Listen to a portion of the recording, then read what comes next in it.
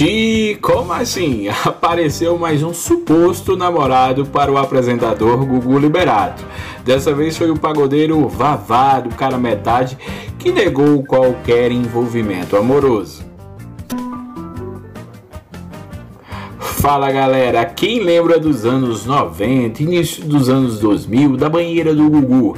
Pois é, muita gente ainda lembra, muita gente talvez não. Quem tem mais de 20 anos, com certeza. Quem tem menos, eu tenho minhas dúvidas. Mas Gugu disputava com o Faustão a liderança do domingo da audiência no Brasil e era coisa feia. Quem sempre aparecia lá era o Vavá do cara metade, o Wagner Duarte, que se volta e meia estava lá brincando na banheira do Gugu.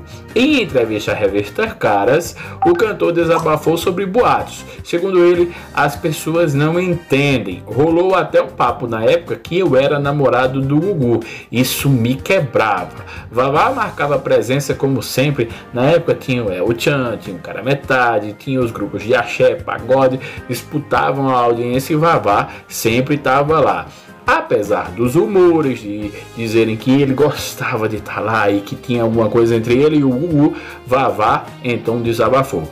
Então toda semana a gente estava ali. Eu cheguei a desmarcar um aniversário meu porque marcaram um programa de TV. A gente era obrigado, eu era obrigado. Então ele quis dizer que se ia à banheira do Gugu, se ia ao Domingo Legal, não era porque tinha qualquer tipo de envolvimento com o apresentador. Era porque era profissional e ele tinha mesmo que estar tá lá. Naquela época, as mulheres suspiravam pelo Vavá. E acho que até hoje sim. E você? Eu acho que não tem nada. Qual sua opinião? Curte, comenta, compartilha. Foi namoro ou amizade? Vlog social. Tchau, tchau.